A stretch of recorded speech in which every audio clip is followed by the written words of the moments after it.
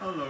I'm so pleased by the report that Pen Farthing um, has got his staff out of Afghanistan. just a few hours ago, uh, Pen Farthing is the former Royal Marine who was operating a thing called Operation Ark, and he was uh, he, he, he, he wanted to get his 150 animals out of Afghanistan, pets, because holding a pet, having a pet in Afghanistan under the Taliban is not acceptable. So these animals had no future there. Uh, this is an organisation called Nowzad, and he also wanted and was quite clear that he wanted to get um, his 68 staff and their families out of Afghanistan. That's 25 children and one new baby. Uh, and uh, at the point of the chaotic evacuation, he failed. Um, and um, I, I was very disappointed to hear this. Uh, but now the news has emerged about why he failed.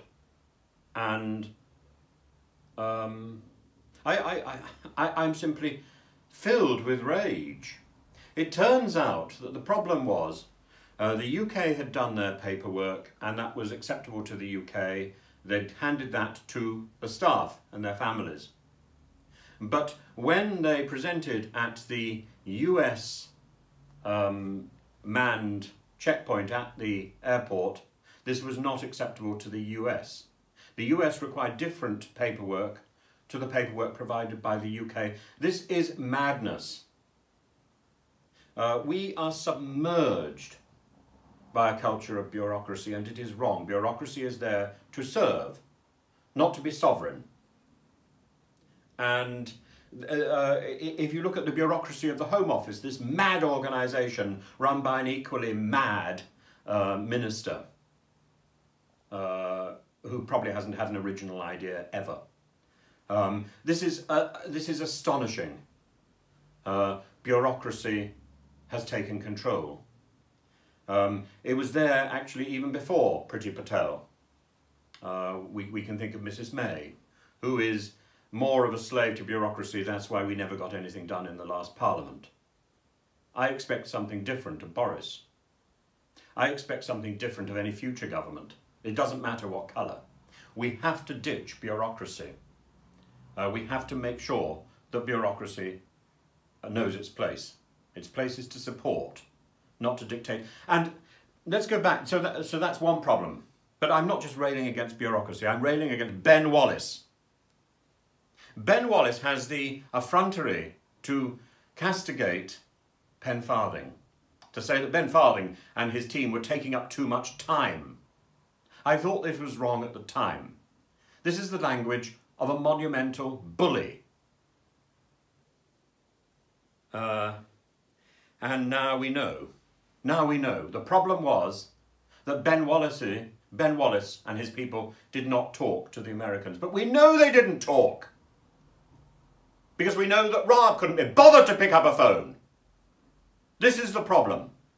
It's not about bureaucracy, really. That's not the biggest problem. The biggest problem is the idleness and the arrogance of the people who have the jobs. They have one job, and that's to communicate. And if they can't do that, everything falls to pieces. And people have got different paperwork that doesn't work, and people's lives are placed in danger bureaucracy is a servant, not a master. And if the masters are busy wagging their fingers and slapping people's wrists without, without reason, those masters need to go. And we actually have so many of them at the moment. This is a cult. We have, you know, uh, Priti Patel, who's busy breaking rule after rule. She's, uh, uh, there's now a report of a new rule a new ministerial rule that she's broken. She has no interest in the rules. It's one rule or no rule for her, and a flexible rule for her, and an inflexible rule for everybody else that she deals with. More finger wagging. Abhorrent. Um, we have an alliance with the United States. That alliance failed because of bureaucracy and because of a lack of communication. I think it failed on both sides, and it failed monumentally. Um, and Uh, let, us look a little bit further at, at the character of these ministers. Uh, Dominic Raab. Dominic Raab, we said, should have been communicating, but he wasn't. Uh, it turns out that he, that he was turning over and slapping on some more number 10. Gavin Williamson uh, should, have, um, uh, should, should, should have been communicating.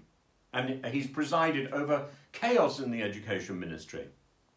And yet, he simply turns to um, childish threats. I know where the bodies are buried. Yes, he does. That shouldn't, that shouldn't um, frighten uh, a, um, a, a, a firm and confident Prime Minister. And Matt Hancock. Matt Hancock is either deep in the stationery cupboard, ooh, missus, or he's taking advantage of a national crisis to help his local pub. You know, we, we, we, go, we go back to the idea of uh, flexible rules for them, inflexible rules for us. Mr. Hancock is the ultimate, oh, I'm your flex flexible friend. Do you remember that advert? The flexible friend. Well, there, we, there we've got a new figurehead, a new icon of a flexible friend. The flexible friend who's looking for the biro. I'm looking for my biro, missus. Woo, yes. Well, there we are. Congratulations, Pen Farthing, because in the end, right comes out. And we are judged not by what we do when we're sitting still and we're lording it over everybody. We are judged by what we do in a crisis. And Pen Farthing, I think, is found to have done right. And Ben Wallace and Raab are found to look as abhorrent and as useless and as dangerous as it is humanly possible to look. These people should not be in charge.